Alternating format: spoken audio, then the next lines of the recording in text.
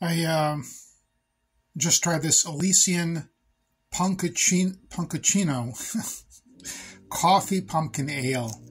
Um, I'm trying to give you guys the, uh, okay, Punkuccino, come on, Punkuccino Coffee Pumpkin Ale. pumpkin ale with the attitude of a world-weary barista. Punkuccino packs a short shot of, the fuck is that? Stumptown coffee in your pint with just a shake of cinnamon and nutmeg. Contains lactose. Dun dun dun dun.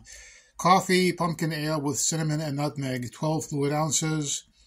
6% by volume, unfiltered, and may contain sediment. Well, I did not detect any sediment. However, I also did not detect any, any, any, any, any, any pumpkin taste. Uh, I, I don't know what the hell is, what is this? Uh, with just a shake of cinnamon and nutmeg. Listen, uh, I'm getting really tired of these uh, dummies uh, claiming that they're producing pumpkin ale and you taste it and it's like it's horrific. It's like chemically or dishwashing liquid or you can't even taste any pumpkin.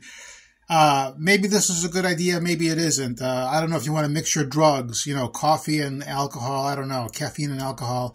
But uh, this Elysian Punkuccino, I don't know, the, the world weary barista uh, must have actually fallen asleep at the counter or the bar or whatever. Uh, this tasted, believe it or not, and I'm going to give it its props this thing tasted like a bit of a Schwarzbier. Uh, I mean, it distantly reminded me of um, my favorite beer, which is Guinness Black Lager. And uh, I think Guinness opened up a, a storefront here in downtown Chicago. I'm hoping they're going to have Black Lager.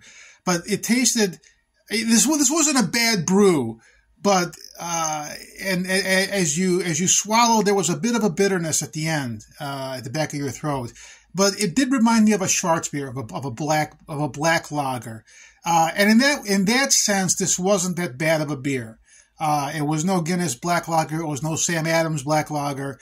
Uh, but it was in that in that in that uh, looking at it that way, it was okay. But as a pumpkin ale, there was no pumpkin flavor in this. Who, what is it? What, what is there some kind of grand conspiracy, or have people just fallen asleep at the wheel when it comes to actually preparing or trying to make a good pumpkin ale because I haven't found it yet. I mean, I think maybe Schlafly's might be the only one.